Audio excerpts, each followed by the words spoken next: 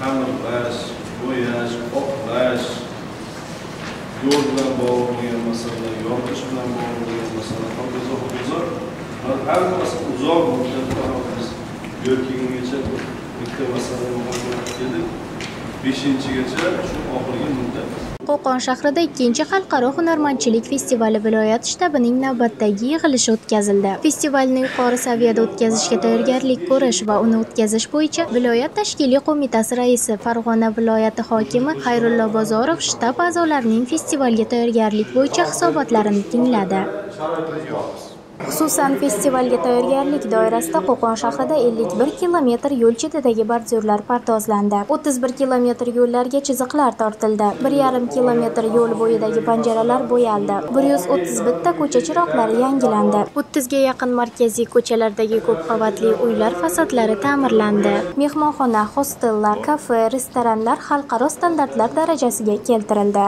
mablag' so'rayapti qarlar kredit so'rayapti да да да Ayni paytda asosiy tadbirlar bo'lib o'tadigan O'rda maydonida sahna, yo'laklar, rotondalarni ta'mirlash, obodonlashtirish va ko'kalamzorlashtirish ishlari olib borilmoqda. Xayrullo Bozorov obodonlashtirish, qurilish, ta'mirlash ishlarini belgilangan muddatlarda nihoyasiga yetkazish, Qo'qon shahridagi bozorlarda tartibli savdoni tashkil etish, festival kunlari ishtirokchilar xavfsizligi, jamoat tartibini ta'minlash kabi ko'plab masalalar yuzasidan mutasaddilarga ko'rsatmalar berdi.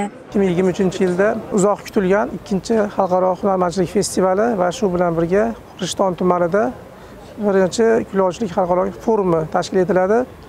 Ushbu nufuzli ikki tadbir bu prezidentimiz bevosita tashabbuslari bilan qarorlari asosida tashkil etilayotgan bo'lsa mana shu qo'qondagi ikkinchi xalqaro hunarmandchilik festivali bu yetmishdan ortiq mamlakatdan ikki yuzdan ziyod eh, hunarmandlar konferensiya ishtirokchilari hamda nufuzli hunarmandchilik tashkilotlari vakillari e, nufuzli mehmonlar tashrif buyurishadi. Shu bilan birga bu yetti yuzdan ortiq mahalliy hunarmandlarimiz ishtirok etishadi. Birinchi festivalda mana hunarmandlar shahri maqomi berilgan edi qo'qon shahriga. Mana shu to'rt yil davomida hunarmandchilikni qanchalik rivojlanganini mana shu kelgan mehmonlar o'z ko'zlari bilan ko'rishlari mumkin bo'ladi. Bu festival davomida bir nechta tadbirlar o'rin olgan.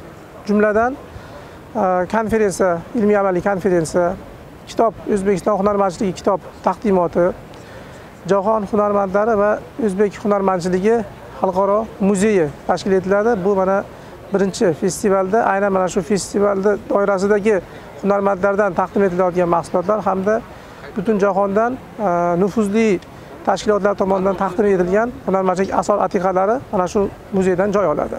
Shu bilan birga butunjahon hunarmandlar kengashini yirik tadbiri ya'ni yig'ilishi bo'lib o'tadi. Birinchi festivalda mana mana shu yig'ilish o'tkazilganda aynan o'zbekistonga butunjahon hunarmandchilik kengashini osiyo mintaqasi raisligi ishonib topshirilgandi mana ikki ming yigirma to'rtinchi yilgacha. Bu muddat davomida aynan mana shu o'zbekistondagi qilinayotgan hunarmandchilik siyosati desa ham bo'ladi. Mana shu siyosat butun jahonda o'rnak sifatida ko'rilyapti. Bu festivalda albatta butun hududdan tashrif buyurgan va xorijiy e, hunarmandlar ustalar tomonidan ko'rgazma yarmarkalar va mahorat darslari uyushtiriladi. Bulardan asosiy maqsad mana shu yoshlarni va yurtimiz aholisini aynan hunarmandchilikka jalb qilish ularni qiziqtirtirish va shu bilan birga boshqa mana e, osh sayli shunga o'xshash madaniy tadbirlar tashkil etiladi.